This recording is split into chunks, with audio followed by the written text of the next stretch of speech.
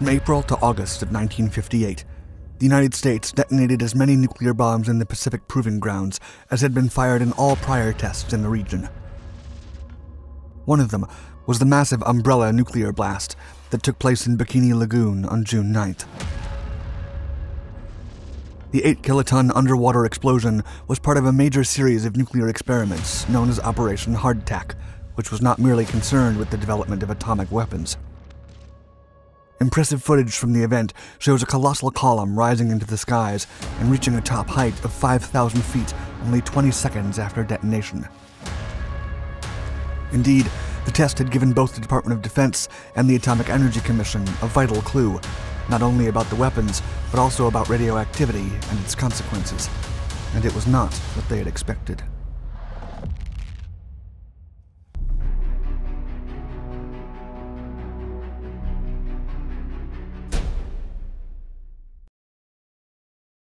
Atomic proliferation.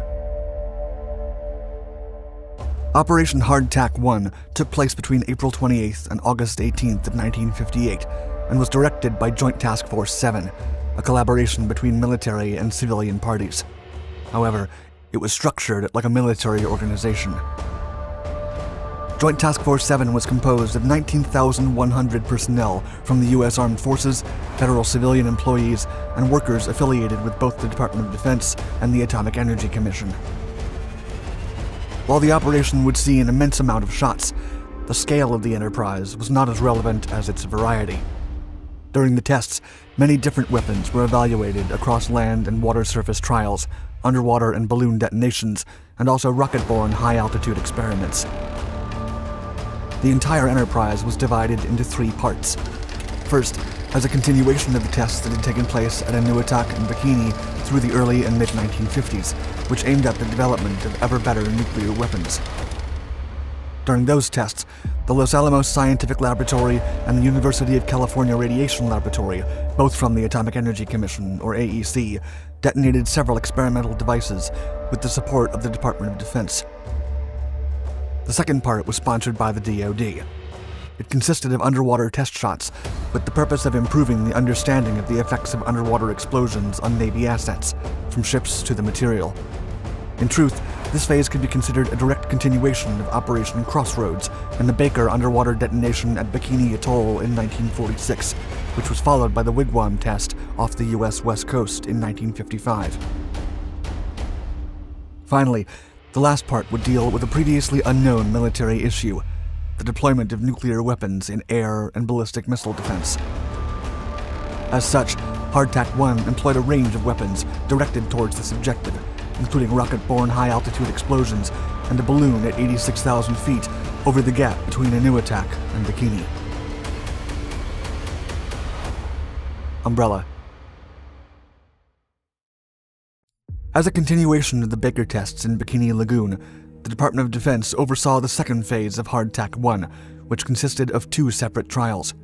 The first, codenamed Wahoo, was an underwater detonation in the open ocean. The second one, known as Umbrella, took place in the lagoon inside Enewetak. Of high importance was that explosions in shallow water can create craters if they happen close enough to the bottom.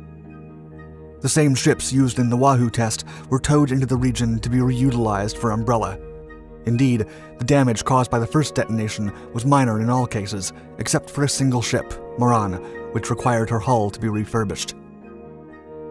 Still, all ships had to be washed down, and their measuring equipment was replaced before use. Meanwhile, the mooring for Umbrella was significantly easier than for the first test in the open ocean, and the location and depth of the lagoon greatly facilitated the process. Evidently, the information gathered from the Wahoo test was directly implemented in the following experiment, and it affected the arrangement of the targets, as well as decontamination times. Only then was the device placed, by means of a buoy at a depth of 150 feet.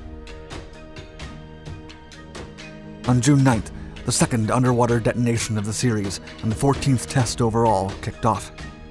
As captured on camera at the exact moment of detonation, the explosion occurred at 11:15 a.m. under clear skies. The wind was from 17 to 20 miles per hour, coming from the east-northeast. In only one tenth of a second, a dome of spray broke through the surface and created a column in the air. The 8 kiloton explosion launched the vertical shape 5,000 feet into the air, reaching its top height 20 seconds after detonation. Meanwhile, the surge spread across 10,000 feet downwind at its base and reached no less than 6,000 feet in all directions. The base surge could be observed from the air as long as 25 minutes afterward. Notably, the foam patch that formed over the blast location lasted even longer. Umbrella pierced through the sand bed at the bottom of the lagoon, and its blast created a crater of 3,000 feet in diameter and 20 feet in depth. And the maximum radiation reading was 0.350 Röntgen per hour, as measured by an aircraft overflying the spot.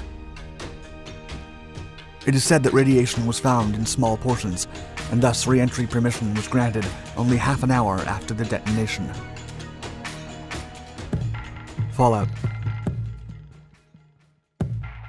The tests required device placement techniques and data recording operations that were new to nuclear weapons testing.